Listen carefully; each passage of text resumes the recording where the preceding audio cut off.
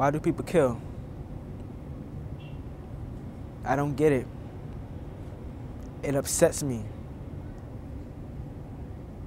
And it pisses me off. So I decided to make a film about it.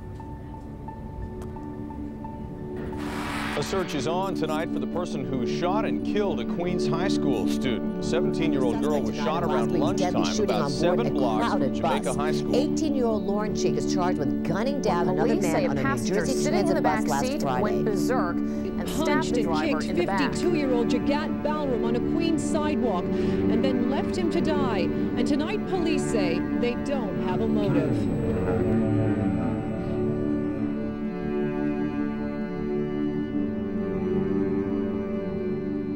People kill because they get angry. That's the main one. You get angry, you lose control, you kill someone.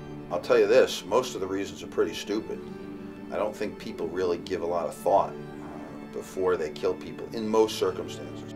I don't think people are born to kill, and I certainly don't think that society causes people to commit homicide. I think we're born with a complexity of possibilities. We're born capable of good, we're born capable of, of evil, and invariably, most human beings, we're a mix of both. Marcus McTear was a star running back at Reagan High School in Austin, when he spiraled out of control and brutally murdered his girlfriend. Teddy Lynn Ellis was in jail serving time for murder when he escaped. A transsexual is in jail tonight charged with murdering her own mother. Cops say that drugs may have been the motive, but the suspect... You know, one of the misconceptions is that it's only strangers that get killed in some, you know, narrow street. It's like the same with rape. Um, and uh, it, it's just not true. Most people who get killed are people in relationships. There will always be uh, husbands who batter their wives or girlfriends, and sometimes that battering goes as far as homicide. Very often you'll find that the majority of murders are based on situations where people argue and they get out of hand and one person gets killed, either accidentally or on purpose. That basically, these are normal people who have done a terrible thing, and now they've got to live with those consequences.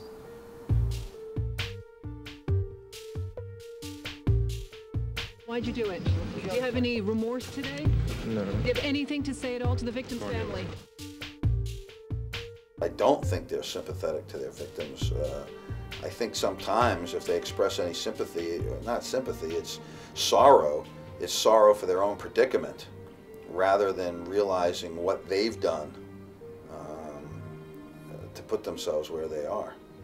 Most people who have committed murders or killed people uh, generally are as shocked and horrified by what they did as everyone else is. When you're taught as a young person over and over again that violence is the way to resolve your problems, then I would say something like a homicide is really almost inevitable. And you can feel bad that uh, parents or others um, so screwed up and so um, or so thoughtless or incompetent or incapable of raising children and producing these problems uh, doesn't mean that we should excuse the conduct that results. I think killing is never justified unless you're talking about a situation of true self-defense. The dead man's sister and fiance don't think Christopher Drayton should be facing murder charges over the Monday night incident. I was there and it was self-defense. Until we place ourselves in a situation of war or in a place where you are facing the imminent use of deadly physical force and have the ability to use it back, you know, only if you're in that situation would you know whether, whether you could do it. I understand what, what a person who is a, a suicide bomber is doing. They're saying that you are killing me and that you have killed my very possibility to live as a human being the way that I want to live. And the only way that I can get back at you is to kill myself.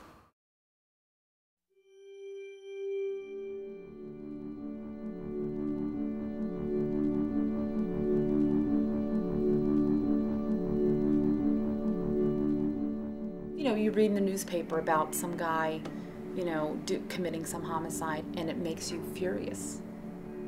I mean, it happens to me. I read it and I think, ah, terrible. You know? And it is. There's no question. It is terrible. But that doesn't mean that whatever we want to do to that person is legitimate. There are some families who do want and appreciate and take satisfaction in the execution of the person or persons responsible for the death of their loved one. So it, it doesn't work. If I kill someone because they killed someone, then we've got two dead people. Even if you're for the death penalty, which obviously I'm not, um, it's crazy.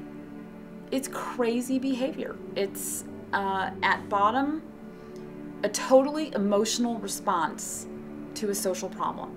You know, ultimately, if society, or more specifically, uh, those people responsible for the upbringing of a given individual, produce somebody who is, I hate to use the word a monster, but someone who has no morality and no qualms about using violence, well, then society has to protect themselves from such an individual, even if one understands intellectually how they came to be that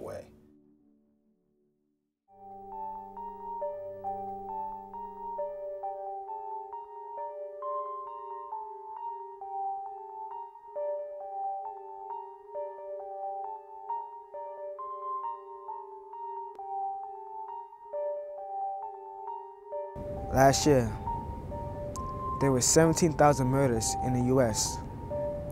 and 59 prisoners were sent to their death. And over 1,500 soldiers have died in Iraq. I just wanted to stop. Just stop.